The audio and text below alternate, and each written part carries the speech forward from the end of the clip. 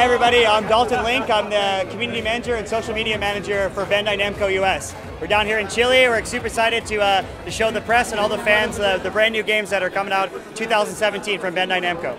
You know, Tekken 7's uh, the kind of the, the top tier uh, fighter, and it's one of the uh, kind of the evolution of the franchise.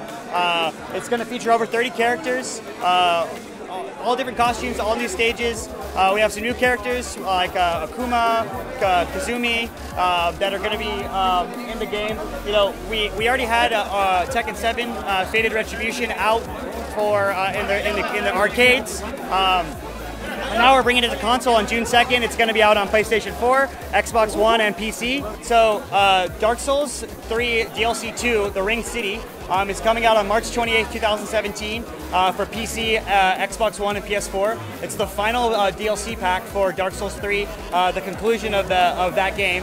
Um, it's going to feature new weapons, new armors, new magic, new PvP arenas, new bosses, new enemies to fight, new environments. Uh, it's, it's longer than the Ashes of Ariandel DLC. Uh, it's going to be a fantastic send-off to the series. But yeah, for Dark Souls 3, uh, it's a it's uh, we're asking players to be around level 1 to 125 once they start. So most players should should play both the base game and the Ashes of Ariandel DLC before they uh, jump into the Ringed City. It's it's a high level difficulty. It's really for the uh, the core players that are looking for a new challenge.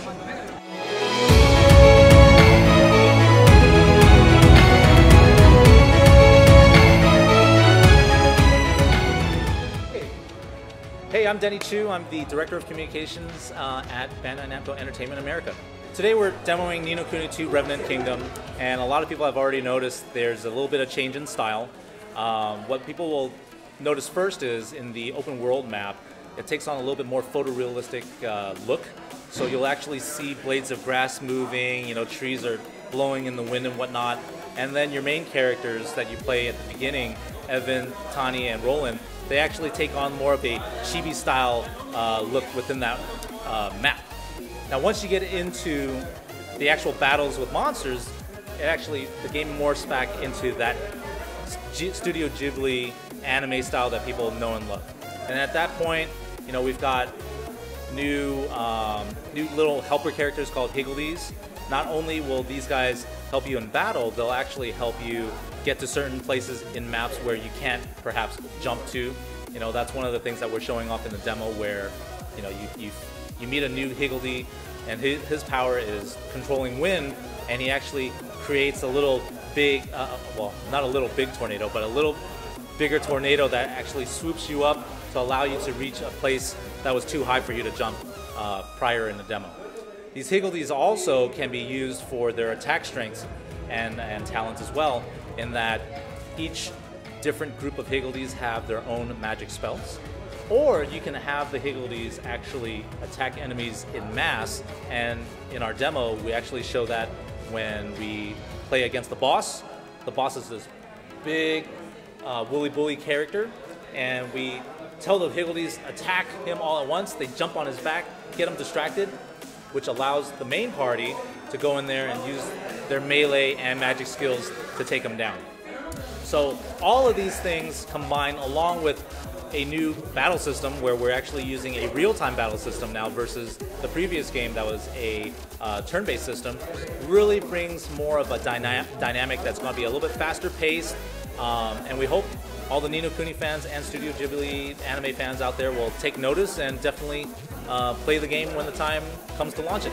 Ace Combat is obviously a, uh, a franchise that's been very long running within Bandai Namco as, as a company. Uh, last year it celebrated its 20th anniversary. It's, it's hard to believe that uh, the franchise has been around that long.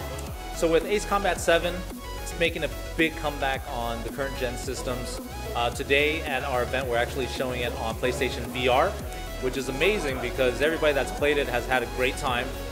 The demo actually has you taking off from an aircraft carrier. You know, you come up from an elevator, and then you know you get steered onto the aircraft carrier uh, runway, and you take off, and you're in the heat of battle right away. Some of the things to, to take notice, obviously, great graphical fidelity, great physics, all of the classic uh, gameplay elements that Ace Combat fans love are all in there. The radio chatter, um, the ease of control, yet the challenge of the gameplay uh, is all preserved. It's, it's kind of crazy to also kind of bring up that the last numbered chapter of Ace Combat was 10 years ago at this point. So we do have a whole new generation of players that we're going to try to appeal to. And judging from today's reaction, just from the VR demo, I think it's going to be a big, big launch for us. Hola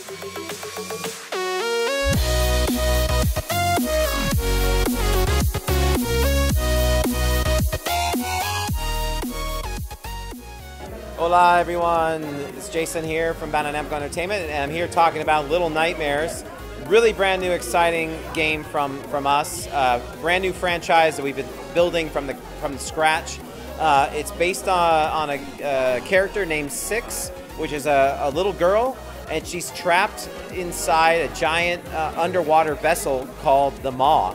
And she's trying to find her way out. She doesn't know why she's here.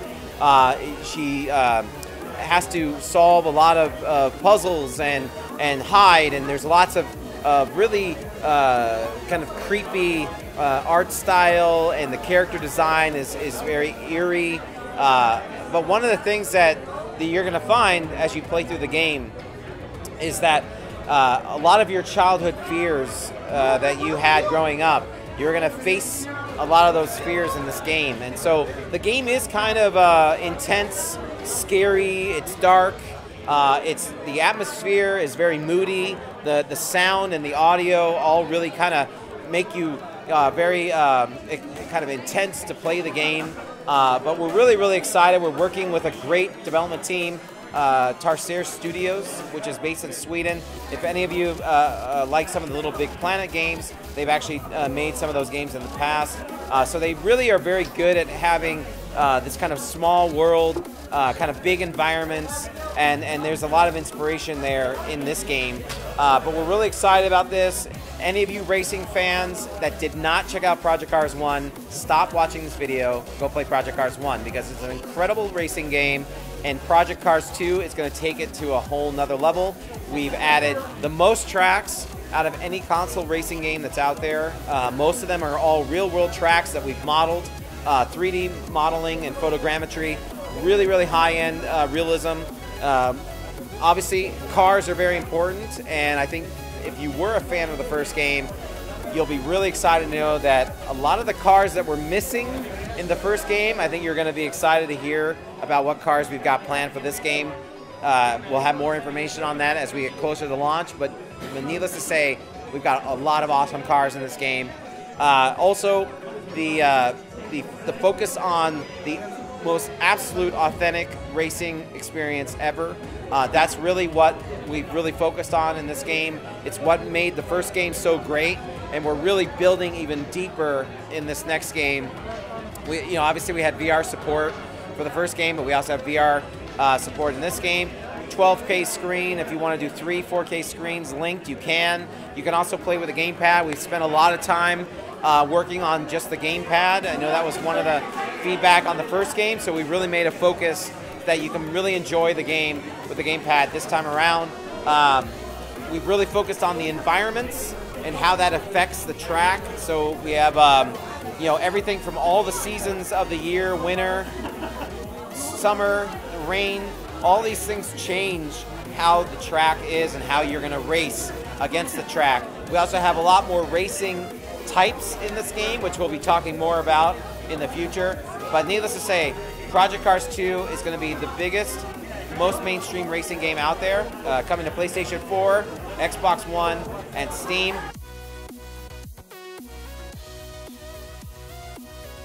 はい、えー、パウアーを、えー、ご覧の皆さん、えー、鉄拳プロジェクトの原田です。えっ、ー、と初めてこのチリに来ました。というわけで、えっ、ー、と6月2日に、えー、鉄拳7の方新作発売されますので、えーこちらの方ぜひいろいろ情報をチェックしてくださいよろしくお願いします